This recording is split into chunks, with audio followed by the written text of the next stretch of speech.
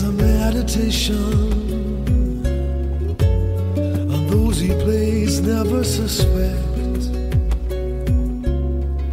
he doesn't play for the money wins. He don't play for respect. He deals the cards to find